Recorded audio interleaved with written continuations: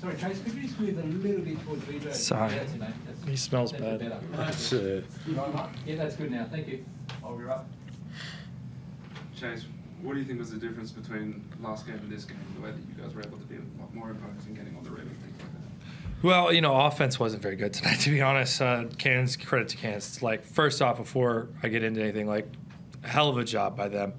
I think we're very aware that if they'd have been healthier, not only Scott, but Pinder and McCall, the whole series, it might have looked a lot different. Like, they're a great team um, with or without those guys. But, yeah. Um, credit to 40, credit to their group. They gave us all we could handle and then some. Uh, he did a great job. He was my vote coach of the year. He did uh, everything right this series. We just got hot for a quarter at the end, and that was pretty much the difference. So, um, back to your point about the difference in, in game one and game two. Watching the film as a coaching staff in game one, we'd been switching a lot, and you know that was kind of trying to match their small ball and stuff. And we came out of that film session just uh, appalled at the way we were soft on the ball. We were just off people, and it was just really easy everything they did.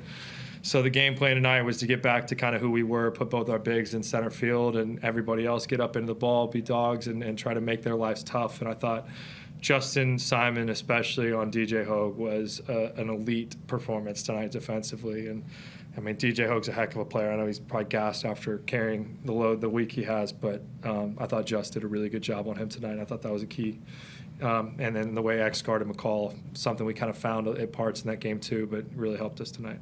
What can you say specifically about Justin on Hogue and like I get the nine points but just eight shot attempts? Yeah, and I would say like five of those points I think were on other people at least. Like you know, Just was just terrific. Just like you said, eight attempts. He just didn't let him get going. He didn't let him sh- shoot the ball, and that was our plan tonight. We were in what we call no shift, no help, meaning you don't have to. You have no responsibilities other than take him away. And I thought Just did a great job on it.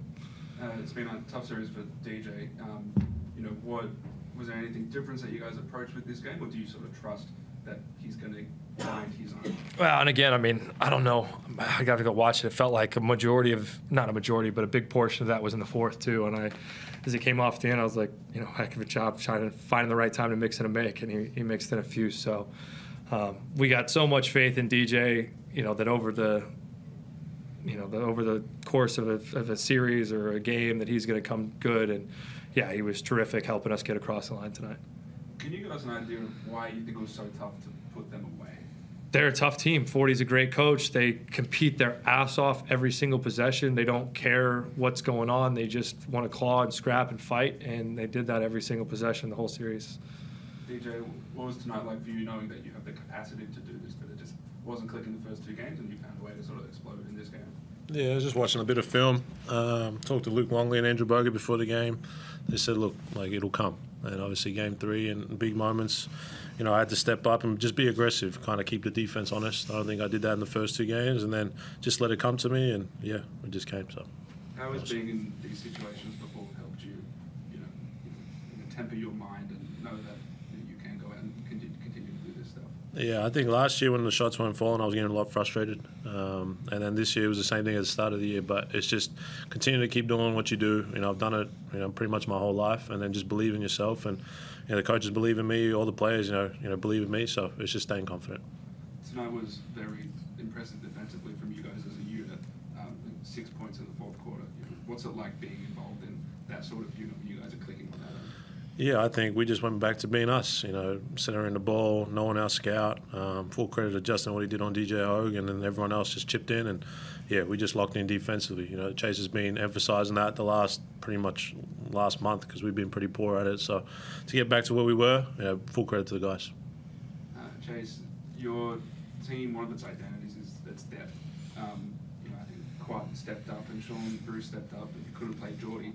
You know, how tough is it to lean into certain matchups based on the series and, and, and not other ones? And is, is it tough telling guys that hey, maybe this matchup doesn't suit you? And, Yeah, I mean, you know, I, I, I don't want to say we couldn't play Jordy. I, I hear what you're saying. I, I do think Jordy, if we'd opted to go that route, would have given us a lot of value this series. I just thought Kouat, maybe it was the Cairns matchup, a lot of different things. It just felt like it was a it was a bigger series for him. And credit to Jordy, you know, it's a tough position to be in. He came in tonight and gave us huge minutes, especially in that first half. So, um, and Jordy's going to be huge for us next series. But to your point, yeah, it was it was a little bit different. I think we still went pretty deep. Like you know, Kouat played big minutes for us tonight and throughout the series. Brucey was huge tonight. I thought. Um, and you know, Glove gives us something. Our whole bench is, is there. It, it spurts. So, um, yeah, I think it's a. I forget the question now, but our depth is a huge asset for us, and and they were definitely in this series too.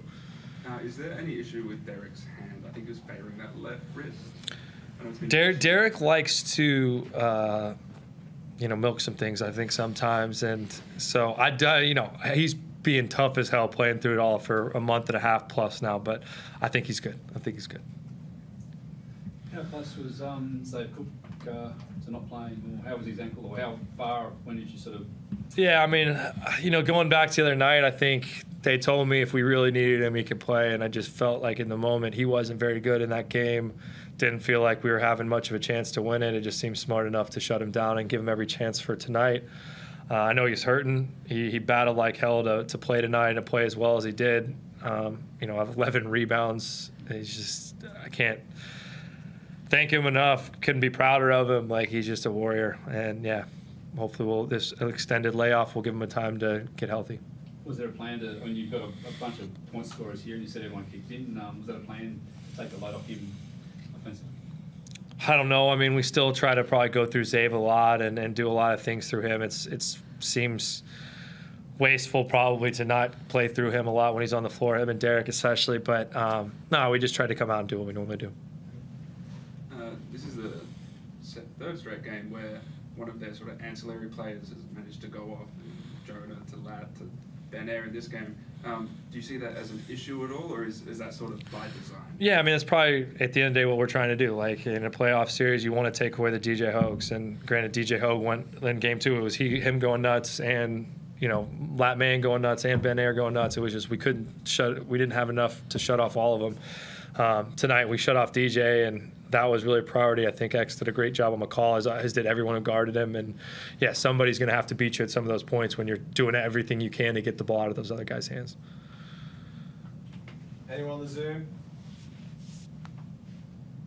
No. You're good boys, thank you. Appreciate it, John. Thank you guys.